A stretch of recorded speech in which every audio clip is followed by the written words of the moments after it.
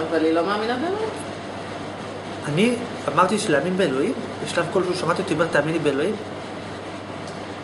אני אומר לך, אל תאמיני באלוהים. אתה יכול להגיד, אני מאמינה באלוהים. אז לכן את סובלת. רוצה לדעת למה את סובלת? את רוצה לדעת למה את מחפשת? לא, גם לפני כן תמיד האמנת. גם לפני כן האמנת. את לא לא. יודעת שהאמנת, האמנת בו בסתר, רק בלי לדעת שהאמנת.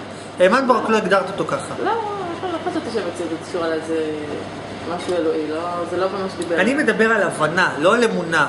אמונה זה פתח לצרות. אתה צריך פעם אחת להבין מה האמת, יש או אין. מה זה להאמין? למה להאמין? יש. אלוהים? תגידי מה זה, אני אגיד לך אם יש או אין. אבל אתה אמרת, תגידי. יש בורא, יש משהו... מבחינתי תגיעי למסקנה שאין, זה גם יהיה טוב. רק תבדקי את זה אחת ולתמיד באופן מוחלט. ולכל אחד יש את התשובות שלו. העיקר שתגיעי לנקודה שתרגישי שלמות עם זה. כשתמצאי את האמת, לא זה באמת. כשתדעי, כשתגלי, אז תדעי שזה באמת. זה יהיה הסימן. איך תדעי שזה באמת? כשתדעי שזה, כשלא יהיה לך את השאלה אולי זה לא באמת, זה באמת. אז אני- יודעת חד משמעית. אוקיי, שמח זה לא בשבילך. תשובה שהגעתי בעצמי, לא בא- באו ואמרו לי תאמיני או תבדקי. זה כמו שאמרתי לה, אם את יודעת שיש, זה אומר שתאורטית יכול להיות שאין. את לא אומרת על היד הזאת שהיא אחת, נכון? ברור שהיא אחת. אז אם את צריכה להגיד שהיא אחת, אם צריך להגיד שאין פה פיל, אז אולי יש פה פיל. מה אתה חושב? נכון? רגע, אם אתה אומר שאין פה פיל, זה כי אולי יש פה פיל, נכון? אם אתה צריך להגיד שיש אלוהים, זה כי יכול להיות שאין. אם זה היה כל כך ברור, לא היית צריך להגיד שיש. את צריכה להגיע למצב שיהיה לך כל כך ברור, שלא תוכלי להבין מה זה אין. את מסוגלת להסביר מה זה יש אלוהים? כן. זו, למילה יש אלוהים יש משמעות עבורך? כן. שזה אומר שיש גם, את מבינה גם מה זה אין. רגע. רגע, את הבנתם את הנקודה? אם אתה מסוגל להסביר מה זה יש אלוהים, זה אומר בעצם שבתוכך אתה גם מסוגל להבין מה זה אין אלוהים. אז אתה עוד לא הבנת בשלמות שיש. אז נגיד דתיים שכל החיים כאילו נולדו לזה, וזה, הם לא מסוגלים להסביר מה זה אין. לא, הם מסוגלים. ברגע שהמושג יש אלוהים, יש לו משמעות עבורך, זה אומר שבתוכך גם יש משמעות למה זה אין אלוהים. אחרת לא משמעות ליש. ואם יש משמעות בתוכך לאין אלוהים, זה אומר שאתה בתוכך לא מכיל בשלמות את היש. יש לך 90% יש ו-2% אין, בסדר? ביום שב-100% תהיה באין אלוהים, גם האתאיסטים שאומרים אין אלוהים, יש להם משמעות למה זה אין אלוהים? כן, זה אומר שבתוכך גם יש משמעות שיש אלוהים. רבי נחמן אומר, אם אתה תצליח במאה אחוז לכפור באלוהים, אתה תראה את אלוהים. רבי נחמן אומר, יש הרבה אתאיסטים שמנסים לכפור באלוהים, כי זה עושה להם רע ללב שיש אלוהים. הוא אומר, ואם אתה תצליח בשלמות לכפור באלוהים, זה מאוד קשה. אבל אם תצליח להגיע למוחלטות, ש, שאין אלוהים באופן מוחלט, עד כדי כך, שאתה לא תבין יותר מה זה המילה אלוהים, כאילו אין לך משמעות מה זה אומר, באותו רגע אתה, אתה תראה את אלוהים. אבל אתה צריך שזה בשלמות, כי אלוהים הוא האמת. לראות את אלוהים פירושו להבין את האמת של המציאות. מה האמת? יש תכלית או אין תכלית?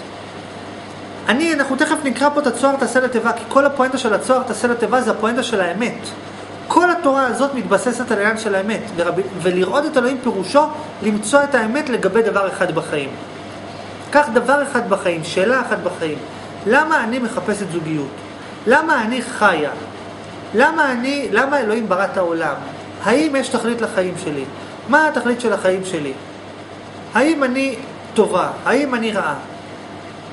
דבר אחד, אבל תחקור אותו עד שתגיע למוחלטות מושלמת שאין שלמות אחריה.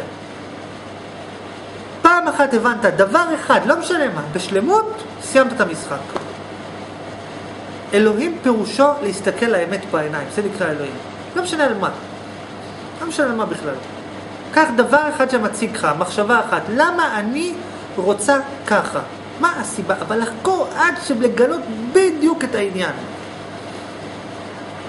עכשיו, אני, זה לא כזה, זה אפשרי. דבר אחד לא משנה, מה שבא לך.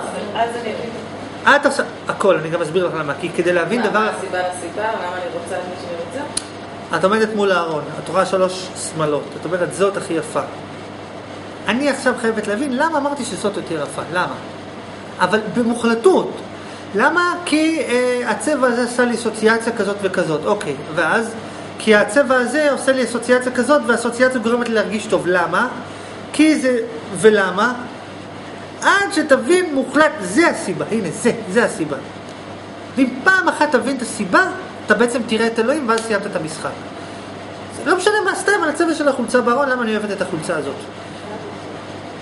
כי כדי להבין למה את אוהבת את החולצה, את צריכה להבין מה, מה גורם לך לאהוב, ומה זה אני, ולפי מה אני רוצה, ולפי מה החלטתי שזה טוב, ולפי מה החלטתי שזה רע, ומה זה טוב, ומה זה רע, ומה זה זה. אבל בפעם אחת, לא משנה מה, מה משהו אחד בשלמות. את אוהבת מישהו, למה אני אוהבת אותו? פעם, אבל, אבל במוחלטות, שתגיעי למצב שבו, אה? אבל איך אני יודעת מתי זה נגמר? שאלה, תהיה לך את השאלה.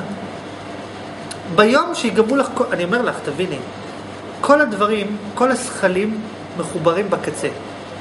כאילו, התשובה לכל השאלות היא אחת. התשובה לשאלה למה הסינים נראים ככה והיפנים נראים ככה, היא בעצם בשורשה היא אותה תשובה לשאלה למה הייתה שואה, ואותה תשובה לשאלה מה התכלית של החיים. בסוף התשובה לכל השאלות היא אותה תשובה. זו תשובה אחת להכל. זה לא יעזור לך שאני אגיד לך את התשובה, אה? לא, זה. ועכשיו תבדקי. אין לזה משמעות שאני... כן, את יודעת מה התשובה? התשובה היא שהכל אחד ואין שאלה. הבנת את התשובה? מה, מה זה אמר? מה זה אומר? איך זה קשור? מה זה מתחבר? איך זה קשור לסינים?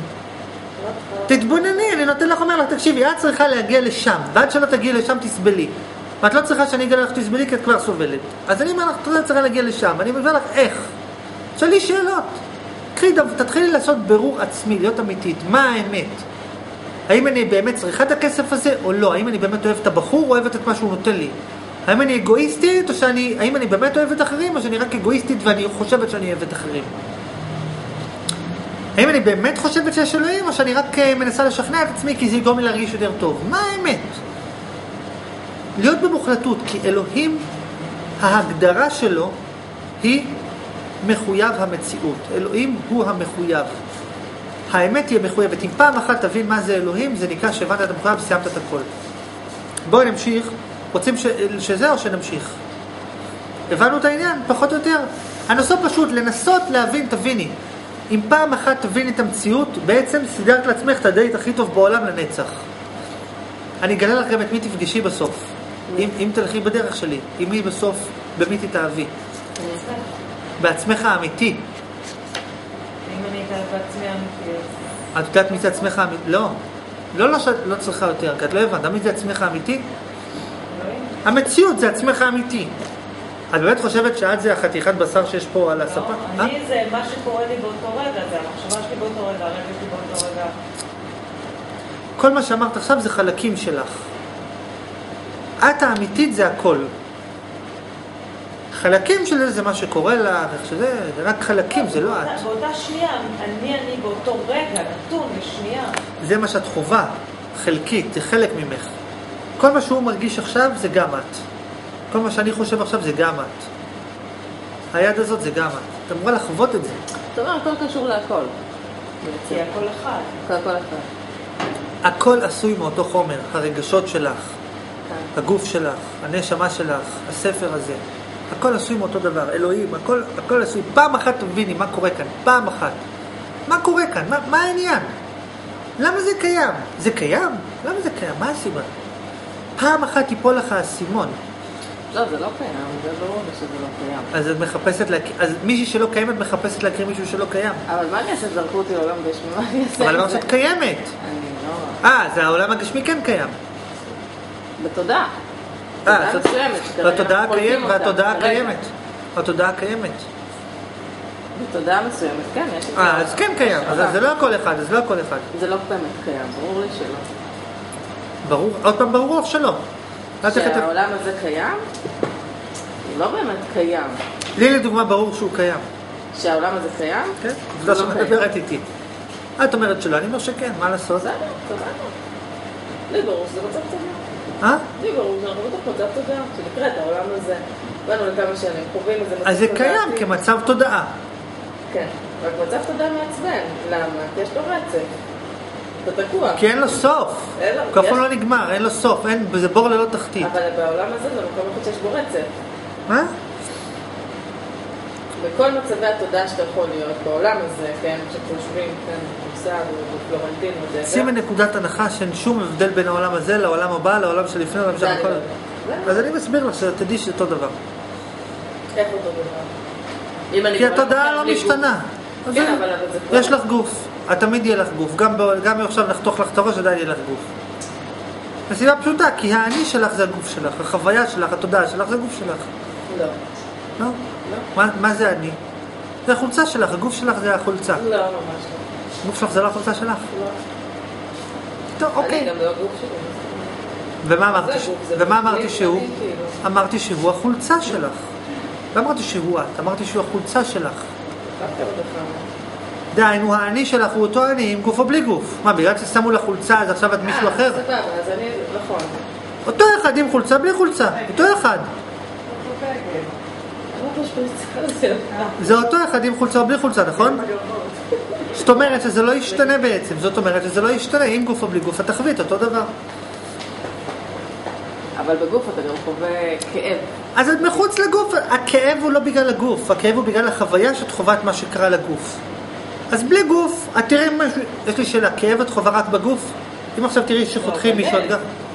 אם עכשיו את תראי שחותכים מישהו, גם תחווי כאב, נכון? זאת אומרת שזה לא בגלל הגוף. זאת אומרת, את יכולה להיות בלי גוף, ולראות משהו ולא לרצות אותו, ולחוות כאב. אוקיי. הכאב הוא לפי הרצון. אם יש משהו שאת לא רוצה אותו והוא קורה, את חווה כאב, זה לא, בכלל לא תלוי. גם אלוהים יכול בלי גוף לחוות כאב, כי הוא לא רוצה שמשהו יקרה וזה קורה, אז הוא סובל, זה לא... אני אמשיך פה את הסיפור ואז תראו איך הכל מתחבר, כי למזלנו הגדול הכל מתחבר.